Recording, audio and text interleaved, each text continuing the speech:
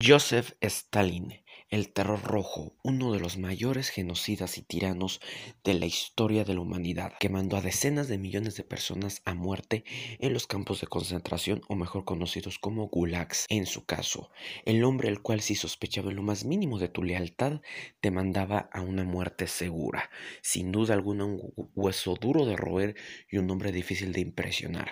Pero hubo un hombre que no solo logró impresionar a Stalin, sino que logró ganarse su respeto incluso logró atemorizarlo. Y ustedes se preguntarán, ¿quién fue este hombre lo bastante duro como para intimidar a uno de los mayores genocidas de la historia? Pues ese hombre fue el mariscal de Yugoslavia, Josep Broz Tito. Yugoslavia era un país socialista, pero era un país que a la cabeza de Josep Broz Tito había decidido que no quería recibir órdenes ni de Estados Unidos ni de Moscú.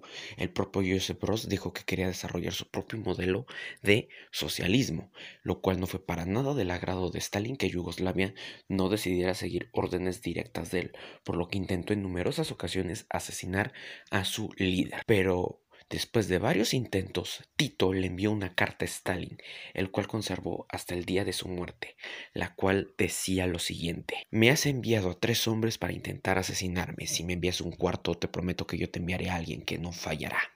Desde ese momento, Stalin no volvió a intentar matar a Tito, y esa carta fue de las pocas pertenencias que se encontró a la muerte del líder soviético. ¿Ustedes qué opinan de este personaje? ¿Les gustaría conocer más de Joseph Broz Tito?